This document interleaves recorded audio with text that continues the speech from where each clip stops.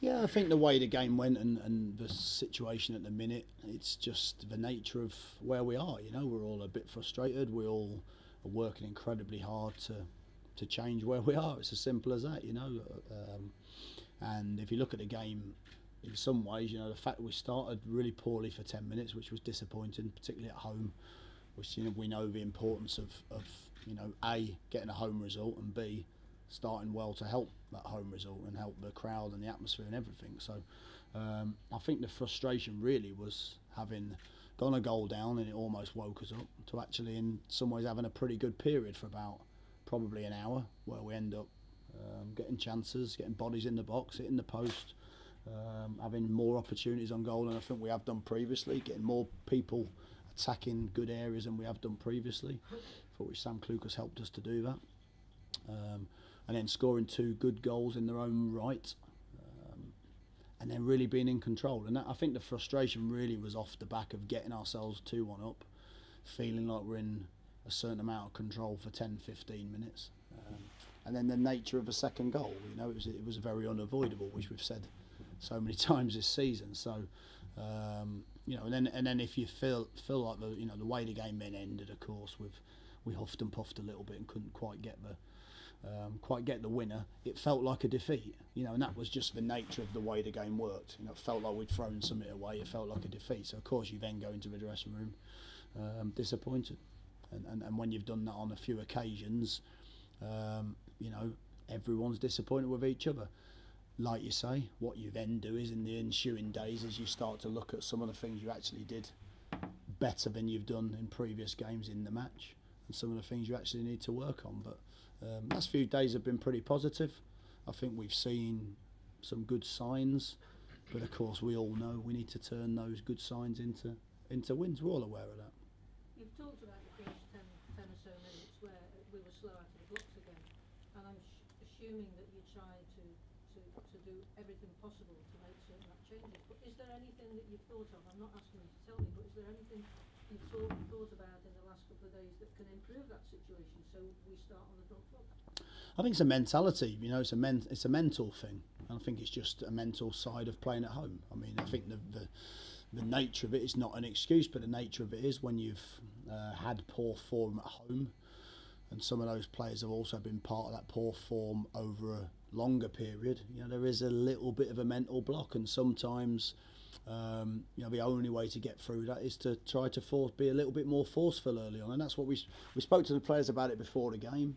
Um, and we spoke a little bit more about really just trying to be free for the first 10 minutes and, and take the game to the opposition. Um, to do that, really, you have to be high in confidence and be able to take take risks, and we didn't quite do that, you know, for, for whatever reason. So, uh, but it's certainly our intention. The players know that. I think it's their intention, but we just need to find a better a better solution, you know. And I think it is just a mentality. It's a mentality to go and win your tackles early, go and win your headers early, you know, get on the front foot, run past the opposition and take them the other way and make them defend, you know, and that's and that's what it is. It's really about putting teams under pressure. Every team will talk about it and try to do it, mainly at home, not so much sometimes away from home because you can have a different outlook. Um, but, you know, it's certainly something we have to do better and I think at the moment, of course, when we start like that, you know, the crowd don't get behind it because it's not the start we want, and it kind of blends into a melting pot of a little bit. Oh, everyone's waiting for everyone to do something, you know. And we can't do that. We've got to be braver. We've got to be better than that. I don't think it's a huge, huge problem, uh, but I think the facts behind it are it's worth the risk because I think if you look at, you know, we've only scored first in seven games this season. Uh, we've won five and drawn two. That's the fact. So in some ways, the start is worth having a little bit of a gamble to try and see if you can you can get that first goal. There's different ways of doing that, of course. You can't just then go gung ho and chuck players forward willy nilly because, of course, you leave yourself open the other end. But um, it's certainly worth trying to create a little bit of early tempo. And most teams will try to do it. Some will be successful, some won't be su- successful. And, and at the moment, we need to find a, uh, a better way to do it. A lot of the fans are calling for you to perhaps play two strikers you're dependent a great deal at the moment on the midfield players getting forward to help. Do you have any comments to, to make to the fans on that? I, I think it's a, it, you know, without being disrespectful, it's a generic view of, of of fans that they always see that as a solution. But if you look up and down the country, you know, Man City, for example, play with one striker. You know, but they'll obviously support that striker very quickly with other players. I think every team throughout the land plays a different. Most teams, ninety percent, play a different format of of uh, one striker and, and different players supporting. We've played games where we've played a striker on the left coming inside and, and joining in, you know, and it's not. I don't think that's necessarily a solution. Um, what I would say is that we want to get our midfielders quicker in support to whichever striker plays. We want to get our midfielders in the box. I think Joe Allen got in the box for both goals, um, scoring the second one. Um, Sam Clucas gets in the box for the first one, setting it up. James McLean gets in the box, you know. So, so I actually felt we got, but I think it's more about getting bodies in and around those areas rather than necessarily just uh, let's play two strikers because you know that's my opinion. Um, and obviously of course as a manager I'm I live or die by that decision you know and I'm aware of that. That's the nature of the game you know but um, my opinion is that that's a common theme to ask for. The reality is doesn't necessarily make you any more attacking or more successful. It's about getting bodies forward and it's about having the quality then to, to use those bodies in the attacking third. So tomorrow when we hope all the bodies get into the attacking third, you know Derby better than, than most people having worked there. How special is the match for you as a manager or is it just another game? No more special at all. And that's just that's not me um, dampening down um, how good a club Derby County is. That's not me dampening down my experiences there as a player, then a coach, then a manager there.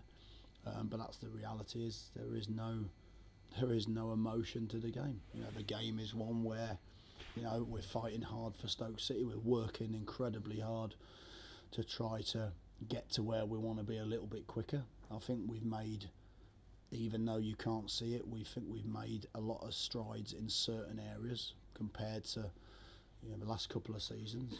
But of course, the expectation and the fact we're in the championship means that you know that's not enough at the moment for anyone, and we're aware of that. So, um, but the game is more important to us rather than me looking at the emotion of the game. I'll be really, really honest. It won't matter to me. You know, Derby County fans can sing what they want, they can do what they want. It won't. Whilst they're singing about me, they're not supporting their own team. So I'll be quite happy if they spend the whole 95 minutes abusing me um, and my team can just try and get on with attempting to win the game against a very good Derby side that have been led by um, you know an impressive Frank Lampard in his first role. The weather forecast is not great for tomorrow, so it'll be um, a Just told the lads about it, they didn't believe me. A wet and windy Mm. night in, in the Potteries, and we've got three games in eight days.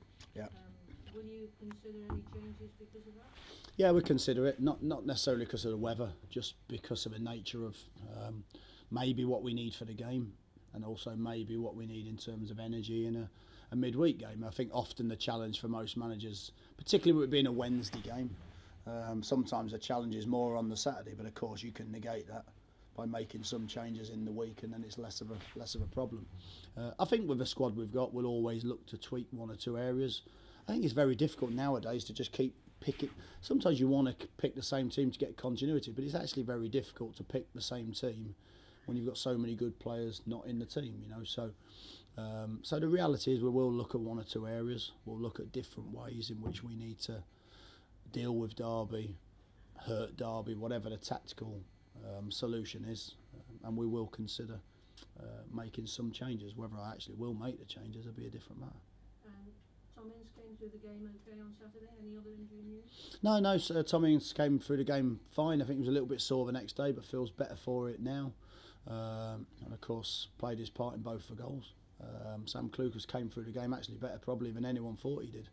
Um, you know, and if I actually look back on the game, um, when I took him off at that point, having watched the game back, he probably didn't show us a lack of energy that I thought maybe he would do. You know, and I thought he saw the game through really, really well. So I was really surprised of, of how well he coped in the game and actually how good his performance was. So I think that means that we can make whatever decision we want, not based on how people have recovered coming back into the team so quickly and just simply down to what we think the game requires.